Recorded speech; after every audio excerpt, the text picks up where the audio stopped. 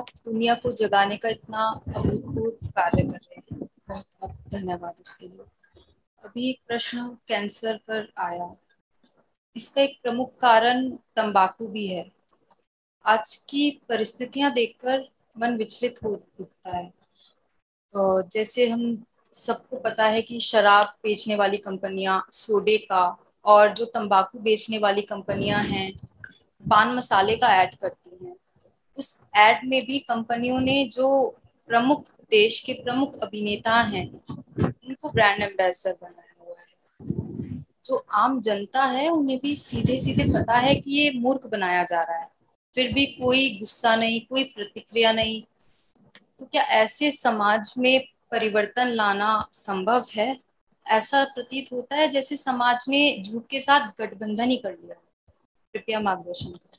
समाज ने उनसे गठबंधन नहीं कर लिया, वो समाज ही हैं।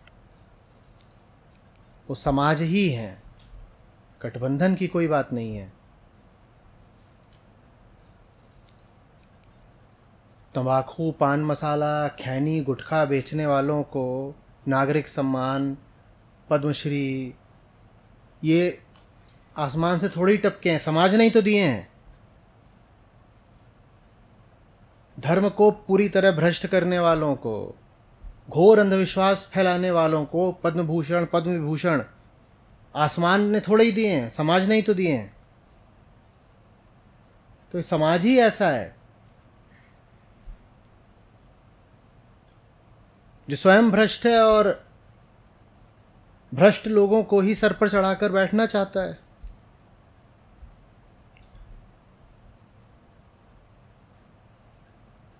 इसमें आपके लिए सीख बस इतनी है कि इन सम्मानों को आप सम्मान देना छोड़ दीजिए।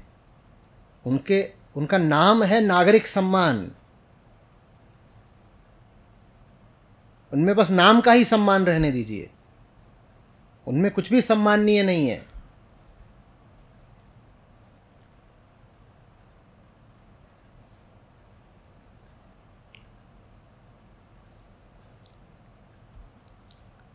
देखिए, हमारी बड़ी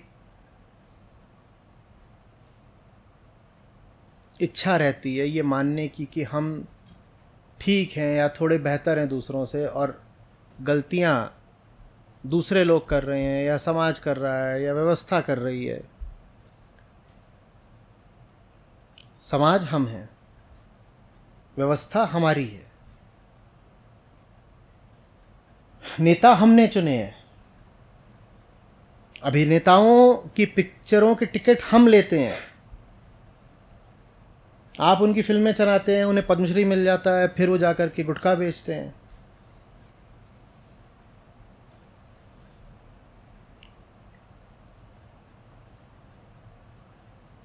हमारे लिए मनोरंजन बहुत बड़ी बात है।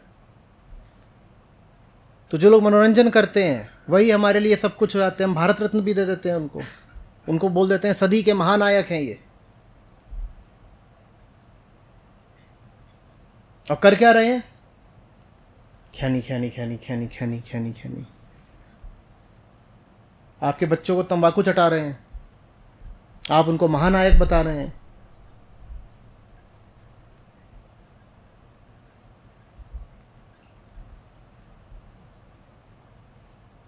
ये सब कुछ जो हमारे आसपास हो रहा है, वो हमारे भीतर की स्थिति का ही प्रतिबिंब है। हम भीतर से जैसे हैं, वैसे ही बाहर सब कुछ चल रहा है। सम्मान और सत्ता जिन हाथों में है, वो हमारे ही हाथ है। किसी बाहरी व्यक्ति को क्या दोष देना?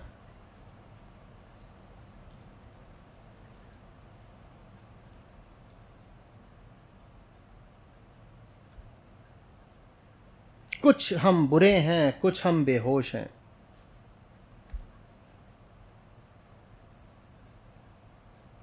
कुछ तो बात यह है कि हम सीधे ही सीधे बुरे हैं, हम जानते बूझते बुरे हैं।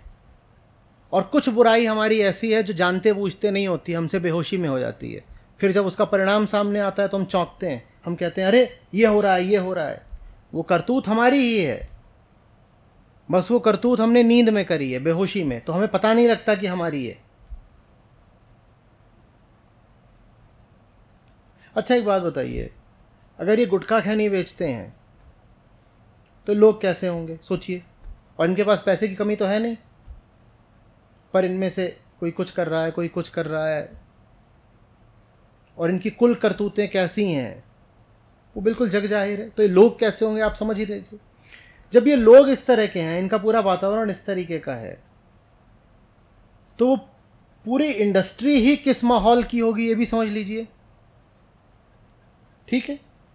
तो वहाँ से जो उत्पाद आते होंगे, वो अनिवार्यतः किस तरह के होते होंगे, ये भी समझ लीजिए।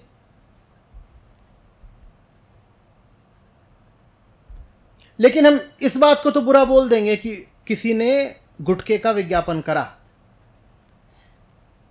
ये बोलते हुए हमें ज़रा समस्या हो जाएगी कि वहाँ से जो कुछ भी निकल के आ रहा है, वो सब गुटके ही जैसा है। क्यों? क्योंकि हमें भी तो पिक्चर देखनी होती है ना। ज़िंदगी में और कुछ तो है नहीं। तो लग जाता है टीवी और नेटफ्लिक्स और अमेज़न अब उसमें जो भी चल रहा है, चले या सिनेमा हॉल भी जाना है, जो भी है, शुक्रवार को कुछ भी रिलीज़ हुआ हो, जाके बैठ जाना है वहाँ पर। वो जो आप फ़िल्म देख रहे हैं, उसी से गुटका निकल रहा है। ये बात आप नहीं समझेंगे बेहोशी में। ये संबंध आपको स्पष्ट दिखाई ही नहीं दे रहा। वो फ़िल्म ही गुटका है।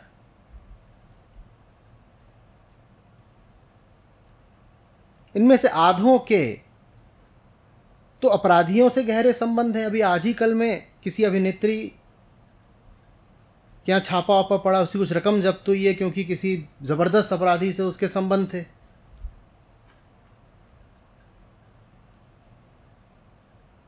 और उसी अपराधी ने उसको ये सब माल दे रखा था। लेकिन वही भी स्क्रीन पे आके आइटम नंबर कर देगी, आप नाचना शुरू कर देंगे। तब आपको समझ में ही नहीं आएगा कि हाँ मामला अंडरवर्ल्ड का चल रहा है।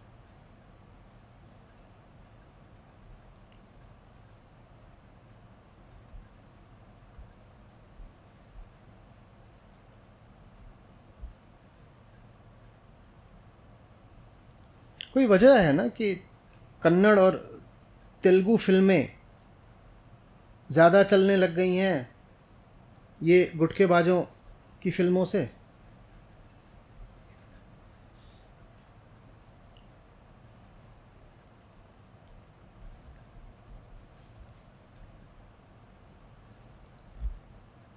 उनकी इंडस्ट्री फिर भी बेहतर है बॉलीवुड से।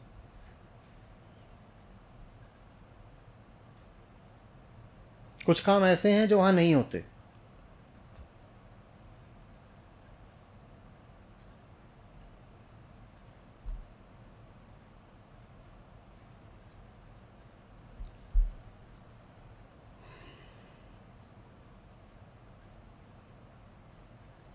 अपने आसपास जब भी कुछ ऐसा होता देखिए, जो आपको साफ़ साफ़ दिख रहा है, गलत है, अपने आप से पूछा करिए, मैंने ऐसा क्या करा है जो ये हुआ? ये अनुशासन पकड़ लीजिए। सड़क पर गड्ढा देखिए। अपने आप से पूछिए, मैंने ऐसा क्या करा है जो ये हुआ? यह अनुशासन कष्टप्रद होता है, क्योंकि हमारी प्राकृतिक वृत्ति होती है कह देने की, किसी और ने करा है। दुनिया गंदी है, देखो, ये गड्ढा पैदा कर दिया, और इस गड्ढे से मुझे तकलीफ़ हो रही है। दुनिया के लोग गलत हैं, मैं अच्छा हूँ। आप उल्टा अनुशासन पकड़िए। कहीं कुछ भी देखिए, पूछा करिए, मैंने क्या करा है जो ये हो रहा है? और अगर आप ईमानदार हैं तो इस प्रश्न का आपको जवाब मिलेगा। और इस प्रश्न का सार्थक जवाब है, क्योंकि जो हो रहा है बाहर, वो करा तो हम ही ने है।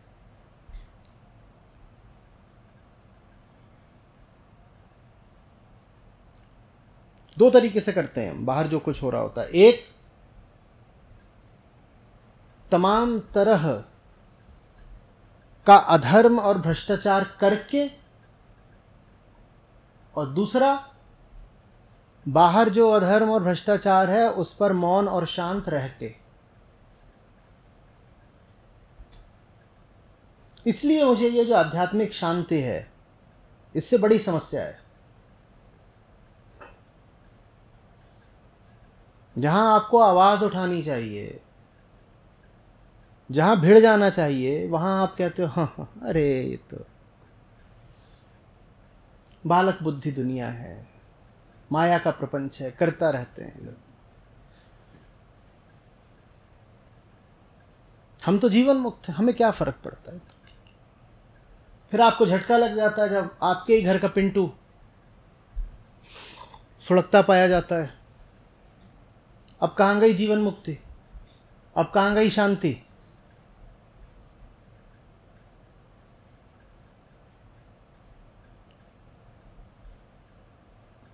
आध्यात्मिक व्यक्ति को एक सक्रिय सांसारिक कार्यकर्ता होना ही पड़ेगा।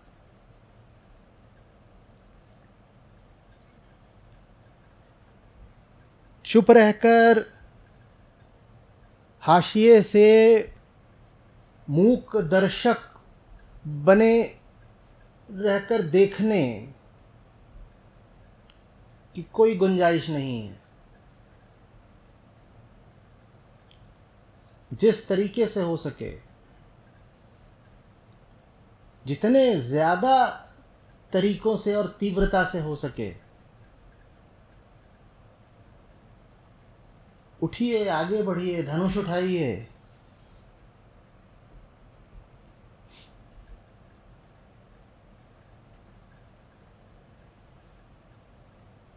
आपका आध्यात्मिक मौन और झूठी शांति बहुत भारी पड़ रहे हैं।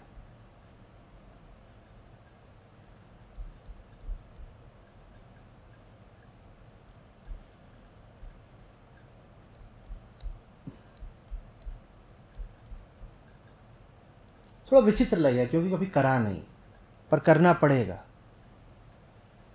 न करने में स्वार्थ है, न करने में इज़्ज़त भी है ना? हम्म कुछ भी हो रहा उल्टा पुल्टा उसको ठीक करने चलो तो मेहनत भी लगती है, समय भी लगता है, पैसा भी लगता है, कौन लगाए? दूसरी बात जो उल्टा पुल्टा कर रहे होते हैं तो गलीच लोग होते हैं। उनसे जाकर भिड़ोगे तो बेइज्जती भी होती है। बेइज्जती कौन बर्दाश्त करे? बेइज्जत होना सीखिए।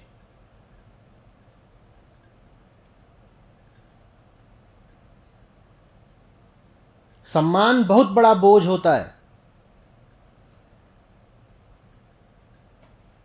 तैयार रहिए गालियाँ खाने को, बेइज्जत हो जाने को।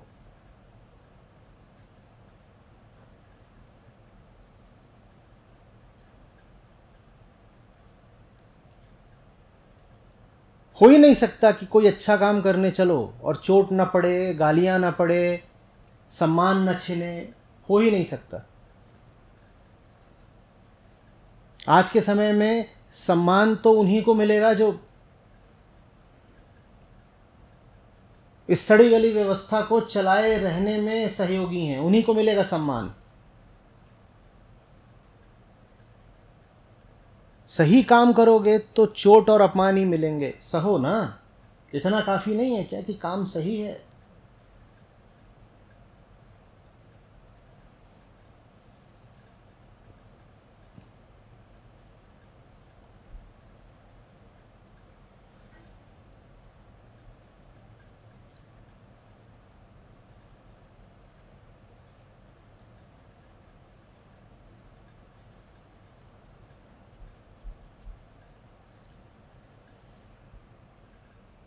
आप कौन सी शांति ले आ लोगे बाबा? कृष्ण युद्ध नहीं रुकवा पाए। आप रुकवा लोगे? हमारा कहना है नहीं, देखो, लड़ाई झगड़ा अच्छी बात नहीं है। थोड़ा मेच्योर होके सोचना चाहिए। देखिए, कोई बीच का रास्ता निकाल लेते हैं। कृष्ण तो निकाल नहीं पाए। आप कृष्ण से ऊपर के हो। जब धर्म और अधर्म आमने सामने खड़े हो तो कौन सा बीच का रास्ता निकालोगे? लेकिन नहीं। एक पक्ष की तरफ़ पूरी तरह आकर के निष्ठा दिखाने में हमारी जान जाती है। बड़ा डर लगता है। तो हम कहते हैं, कुछ बीच का रास्ता निकल आए, देखिए, कुछ सुलह संधि कर लें। फिर पूछ रहा हूँ, कृष्ण ने करा ली थी? तो आप कहाँ की तोप हो? बात ये नहीं है कि आपको सुलह संधि बड़ी प्यारी है। बात बस इतनी है कि दिल से कमज़ोर हैं हम। हिम्मत नहीं है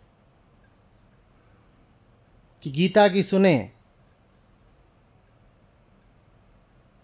और उठा ही लें हाथ में। हिम्मत नहीं है। तो हम ऐसे बनते हैं जैसे हम बड़े शांतिप्रिय लोग हैं। कबूतर उड़ाते हैं छत पे खड़े होके।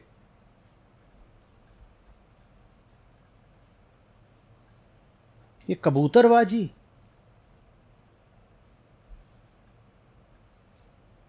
इससे तर जाओगे।